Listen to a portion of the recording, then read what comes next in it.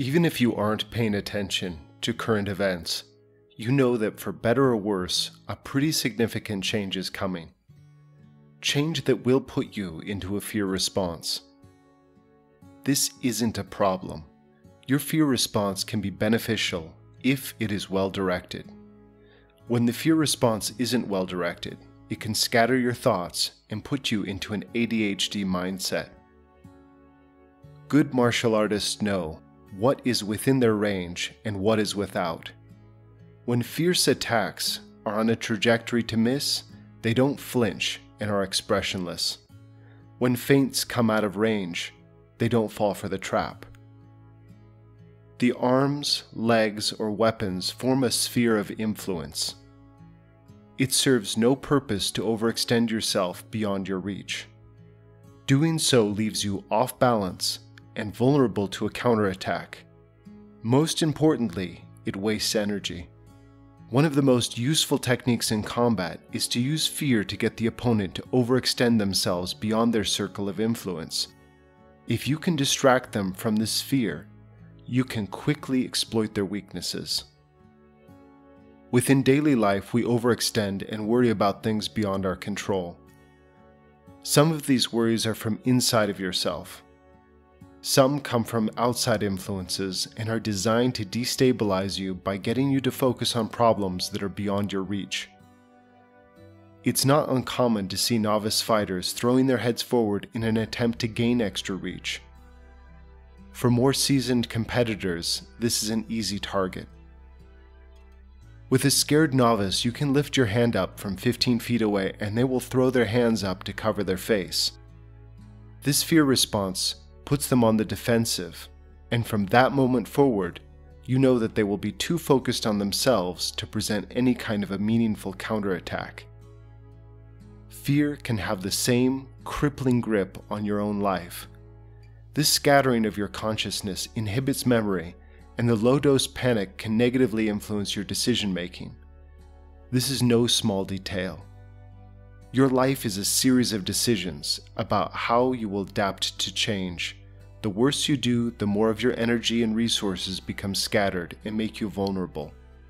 The better you do, the more they coalesce and serve you so that you can thrive no matter what the external environment throws at you. When the world is in flames, you can bring steaks and bask in the warmth. When the world is in an ice age, bring your skis.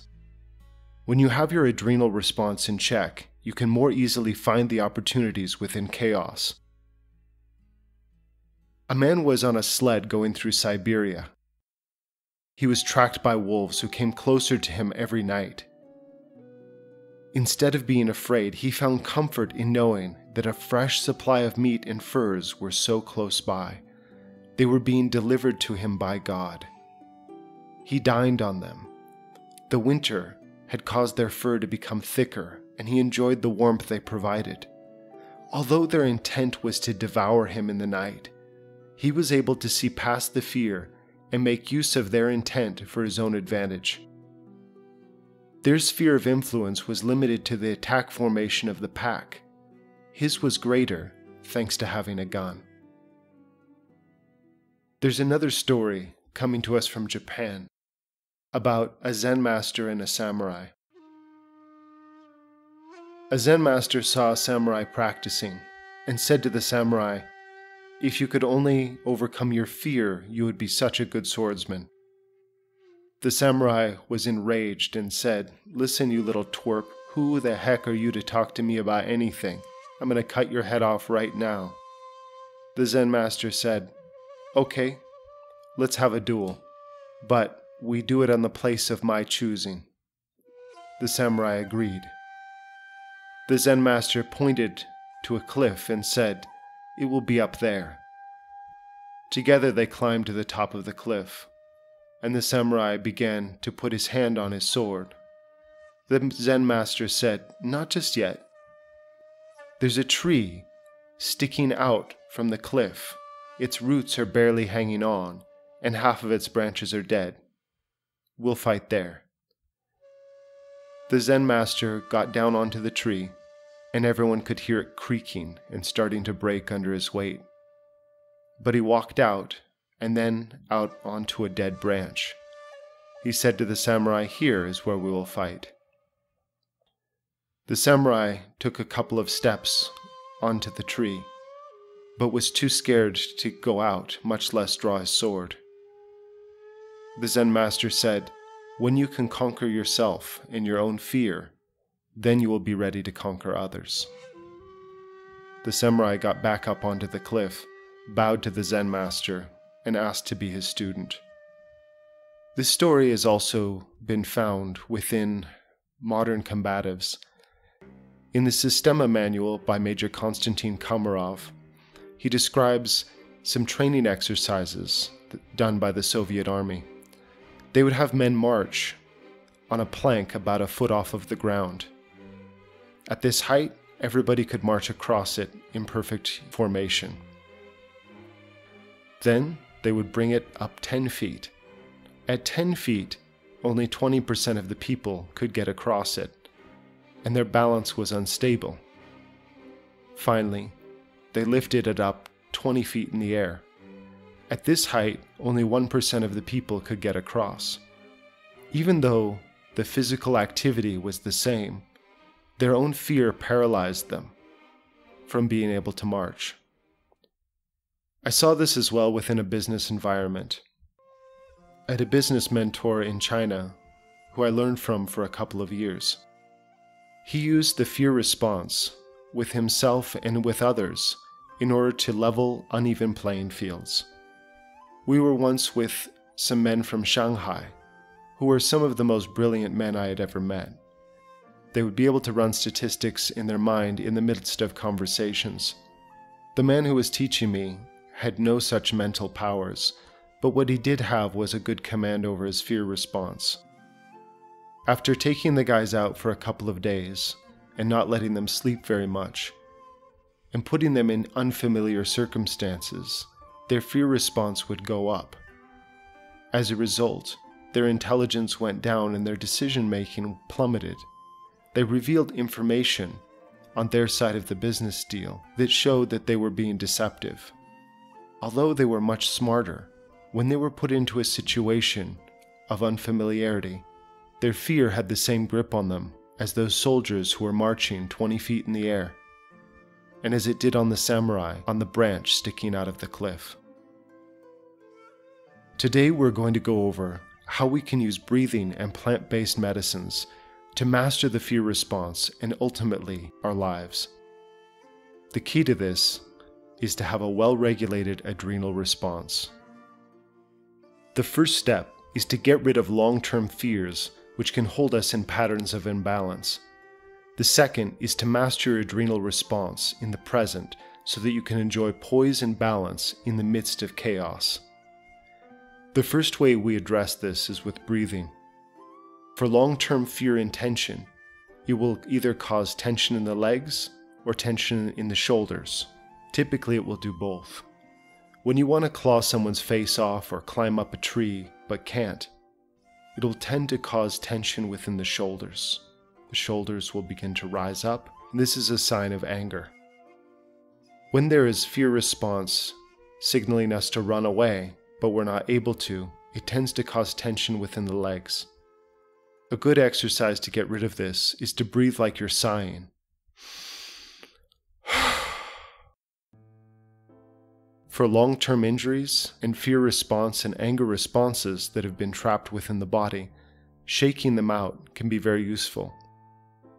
I used to spend a couple of hours once a week shaking my body at different amplitudes while sighing to completely remove tension in the body that had built up over years. In doing so, it greatly improved my physical balance, my athletic coordination, and my endurance. It increased my speed with martial art training for both punches and kicks. It allowed the tensegrity waves to go through my body without causing pain. Once you learn how to sigh, you can gear down your body and begin to relieve tension which has been there for a long period of time. Once you do this, and you find yourself in a very steady state, where if anything, you can sleep easily and you begin to yawn, then it's time to begin the second stage. The second step involves deep, slow diaphragmic breathing, done in such a way as to create a sensation of warmth around the kidneys and the lower abdomen. The first stage with the old fears can be complicated by gut microbiota. Your gut microbes can hijack your opiate receptors. They do this because they're ordering pizza or ice cream, whatever they may want. They get into your opiate receptor sites and they block them. This raises the anxiety that you experience, and it is only abated when you give them what they want. These pathogenic bacteria control you like a puppet. This is true with all of us to varying degrees. The more regulated our stress responses are with gut bacteria, the less we experience these mood fluctuations, and the easier it is for us to gear down the stress response. This understanding is well known within Chinese medicine. And it's why formulas that are designed for the stress response will also take into account digestion. In fact, they're said to protect the digestion from the response of anger. One of the safest and most powerful formulas for doing this, which is very commonly used all over East Asia, is called Xiaoyaosan. This literally means wandering powder. Sometimes it's translated as free and easy wanderer. What this does is it helps to gear down the stress response and protect your gut microbiota. This formula has a regulatory effect on nitric oxide. Nitric oxide is an important gasotransmitter. It's a gas that works as a neurotransmitter in the body. It helps nerves to communicate with other nerves, even if they can't directly communicate. It travels through membranes and can influence intracellular communication. It is responsible for most aspects of homeostasis in the body, and in particular, the hypothalamic, pituitary, and adrenal system. It balances hormonal production and distribution. It reduces stress hormones and regulates sleep. Long term stress can elevate cortisol. When it's elevated for long periods of time, it can cause malfunctions with your stem cells. Xiaoyaosan helps to protect this by gearing down the cortisol and helping to protect the stem cells. It has regulatory effects on dopamine, noradrenaline, and melatonin. It's an antioxidant and it's been found to help with Alzheimer's disease, major depression, and insomnia caused by psychological stress. Once these systems are regulated, it then becomes safer to boost. People often talk about having taxed adrenals, but the way that you actually restore the adrenals is by signaling the genetic expression of adrenocorticotropic hormone, ACTH. Once the HPA axis is well regulated, it's then safer to begin signaling the genetic expression of adrenocorticotropic hormone. This is what's done when people have so called adrenal deficiency or burnt out adrenals. These low levels of ACTH are also associated with low levels of cortisol. This is associated with having a long term fear response in the body. Traditionally, Jingui Shenqi is taken to help protect the body against shock, such as shock from extreme news or just to give people nerves of steel when they need them the most. This information was also echoed in an animal trial. Scientists scared the living bejesus out of a group of rats. Then they discovered that there was a gene expression of CFOS in the hippocampus and thalamus. This expression was elevated the more scared the rats were. Jingui Shenqi lowered the elevation of this by protecting the gene methylation switches. By taking Jingui Shenqi, it allowed the rats to experience shock, but not embody it as a fear response in the long run. It protected their genetic expression of CFOS so that it wasn't elevated. All of the rats experienced shock, just as we all do in daily life. Whether or not that shock causes the genetic expression of C-FOS in the hippocampus and the thalamus has to do with our regulatory systems. If you're going to be in a situation that may cause you to be experiencing shock or increased nerves, taking Jingui Shenqi may be helpful. But again, check with your acupuncturist or doctor. Jingui Shenqi increases the expression of ACTH. It's been found that people with ADHD have normal fear responses initially, but the fear remains in the body. Those stress hormones remain active and they don't gear down. As a result, it puts people in this state of hypervigilance where they're distracted because they're looking over their shoulder for the next lion attack. Being able to gear down these gene expressions and keep the HPA axis in alignment can greatly enhance our ability to focus, remember new information, and be at our best state of poise and balance as we go through life. Jingui Shenqi also increases testosterone in animal and human studies. Lan, how can we find the best quality? And how will we know when it's safe to use?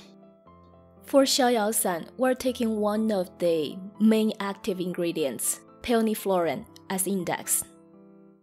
There are several dosage forms of Xiaoyao San that you can find in the market, such as small honey pills, big honey pills, water extract pills, and concentrated pills. For each dosage form, the quality criteria might be a little bit different. For example, for small honey pill, it should contain more than 0.7 milligrams per gram of peoniflorin. For big honey pills, it should contain more than 6.3 milligrams. And water extract pills should contain more than 2.5 milligrams. And concentrate pills should contain more than 4 milligrams. There's another way to take it in a more enjoyable way, which will be tea the Xiaoyao herbal tea form, it has a little bit minty and gingery taste, so it's very easy to drink compared to most of other herbal formulas. Some of them don't have very pleasant taste, and this one is very tasteful. We have patients who would start with pills because they're more convenient, and then later they will switch to teas because they found that actually teas are working even better than pills. Jingui Shenqi is available in both pills and teas as well. However, for Jingui Shenqi, you shouldn't take it if you're pregnant. For both formulas, when you're taking them, you should avoid cold and raw food. Once you learn to calm your nerves in the face of adversity, you can begin to use fear to your advantage. You've probably heard the story about an elderly woman who lifts a car in order to save her grandchild. While we might not always be able to engage in superhuman feats of strength, we can utilize fear to our advantage. Fear can serve as a wake up call. In fact, some of the same hormones associated with fear, these pulsatile releases of cortisol, serve to wake us up in the morning. It's the difference between waking up groggy and waking up ready to face the day. When we transform this power into tangible action and really focus our energy in one direction, it can be a source for incredible change within our lives. Change is a constant, and we're entering into times that should be, for better and worse, tumultuous. The waves of change will come, and some of these waves will be big. How we make use of these changes will make all the difference. We can let them crash into us, or we can ride them into the beach. The difference is in perspective, in poise, and in facing fear with resolve and relaxation.